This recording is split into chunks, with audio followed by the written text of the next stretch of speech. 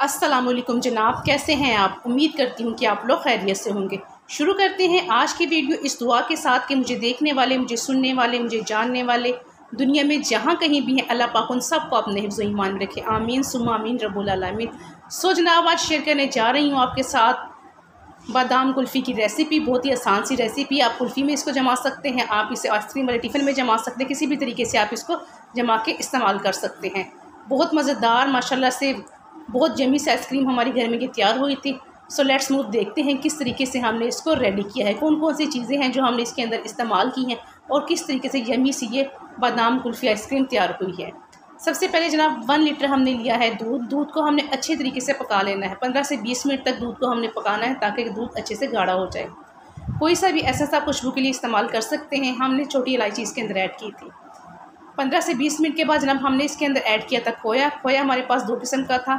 एक वाइट वाला और एक ब्राउन वाला। ब्राउन वाला खोया वो है जो होममेड खोया है, जो हमने घर में तैयार किया है, और वाइट वाला खोया वो था जो हमने बाज़ार से लिया है। आप कोई सा भी खोया इस्तेमाल कर सकते हैं, घर में मिलने वाला खोया, जो आप घर में बना के रखते हैं या बाज़ार से मिलने वाला, कोई सा भी खोया आपने ऐड करना है। खोया ऐड करने के बाद पंद्रह से बीस मिनट तक मज़ीद हमने इसको मीडियम आँच पे पकाना है, ताकि खोया हमारा जो है तमाम इसके अंदर अच्छे तरीके से मेल्ट हो जाए और अच्छे से पक के मज़ीद हमारा ये दूध गाढ़ा हो जाए। पंद्रह से बीस मिनट के बाद जनाब, हमने दो चम्मच इसके अंदर ब्रेड क्रम्स के ऐड किए हैं। ब्रेड क्रम्स ऐड करने के बाद मज़ीद हमने दस मिनट तक इसको पकाना है। दस मिनट तक पका के मज़ीद जब हम इसको गाढ़ा कर लेंगे, उसके बाद हमने शुगर, चीनी इसके अंदर ऐड कर देनी है। चीनी आप अपनी पसंद के हिसाब से ऐड कर सकते हैं। कुल्फ़ी चूँकि ठंडी होकर इस्तेमाल होती है तो इसके लिए इसके अंदर थोड़ी ज़्यादा चीनी ही जाती है। हमने थोड़ी ज़्यादा चीनी इसके अंदर ऐड की। चीनी ऐड करने के बाद मज़ीद दस मिनट तक हमने इसको अच्छे तरीके से मीडियम फ्लेम पर पका लेना है। चीनी अच्छे से मेल्ट हो जाएगी, उसके बाद पंद्रह से बीस मिनट तक ये हमारी मज़ीद ये गाढ़ा हो जाएगा। गाढ़ा होने के बाद जनाब हमने फ्लेम को ऑफ़ कर देना है और ठंडा होने के लिए रख देना है।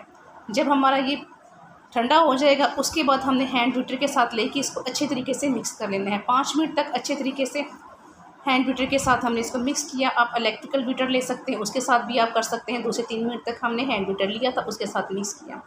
इसको अच्छे तरीके से मिक्सिंग करने के बाद जनाब हमने इसके अंदर कर देने हैं कटे हुए बादाम ऐड आप कूट कर बादाम जो कुटे हुए बादाम होते हैं, वो भी ऐड कर सकते हैं। आप कटिंग करके भी ऐड कर सकते हैं। हमने कटिंग करके इसके अंदर बादाम ऐड किए थे। मिक्सचर हमारा अच्छे तरीके से रेडी हो चुका है। अब हमने कुल्फ़ियों ये वाला सांचा कुल्फ़ियों वाला लिया है। आप कोई सा भी ले सकते हैं। कुल्फ़ियों के इन सांचों में हमने अच्छे तरीके से इस मिक्सचर को भर लिया है। और इस तरीके से हमने ढक्कन लगा दिए। आप इन ढक्कन की बजाय प्लास्टिक या लकड़ी की स्टिक्स जो होती हैं, वो आप इसके ऊपर लगा सकते हैं, वो भी बेहतरीन है और इस तरीके से भी आप इसको रख सकते हैं। इन तमाम कुल्फ़ियों को हमने अच्छे तरीके से भर के, इनके ढक्कन लगा के सात से आठ घंटे के लिए हमने इसको फ्रीज़र में रख देना है।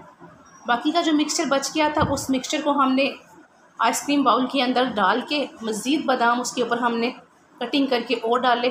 और अच्छे तरीके से हमने इसके ऊपर भी डाल के रख दिया है। अब इन दोनों चीज़ों को हमने सात से आठ घंटे के लिए या ओवरनाइट के लिए फ्रीज़र में रख देना है। अगर आप ओवरनाइट के लिए रखते हैं तो ये ज़्यादा बेस्ट है और ज़्यादा अच्छे तरीके से ये जम जाता है। हमने इसको ओवरनाइट के लिए रखा और माशाला से हमारी कुल्फ़ियाँ अच्छे तरीके से जम गई तो हमने इनको निकाल लिया। अच्छे से हमने इसकी कटिंग करनी है कटिंग करके हमने इसको सर्व कर देना है। कटिंग आप अपने हिसाब से कर सकते हैं, आप स्मॉल स्मॉल पीसेस भी कर सकते हैं, आप बड़े पीसेस भी कटिंग करके सर्व कर सकते हैं। कुल्फ़ियों को जनाब आप पानी के अंदर थोड़ी देर रखेंगे, एक आध मिनट, उसके बाद उसके अंदर से कुल्फ़ियाँ निकल आएँगी। लास्ट में आप देखेंगे किस तरीके से हमने कुल्फ़ियाँ निकाल के डिश आउट की थी।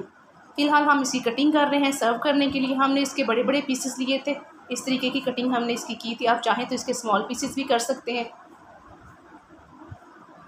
माशाल्लाह से हमारी खोया बादाम कुल्फ़ी बहुत ज़बरदस्त और बहुत अच्छी तैयार हुई थी।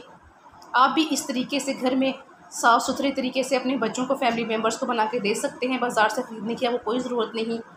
बाज़ार में मिलने वाली कुल्फ़ी और घर में मिलने वाली, बनने वाली कुल्फ़ी में बहुत ज़्यादा फ़र्क होता है। आप चाहे कुल्फ़ी के सांचे पे जमा के दें, चाहे इस तरीके से कटिंग करके अपने बच्चों को सर्व करें घर वालों को सर्व करें। इस तरीके से जनाब आप अपने घर में आसानी के साथ खोया बादाम कुल्फ़ी तैयार कर सकते हैं। सो जनाब if you like this video so please like and share this video and subscribe my channel and press bell icon मिलते हैं किसी अच्छी और इन्फॉर्मेटिव वीडियो में। इन टिल देन अल्लाह हाफिज़। ये जनाब जो हमने अलहदा से कुल्फ़ी निकाली थी, ये वो वाली कुल्फ़ी है हमारी। Thanks for watching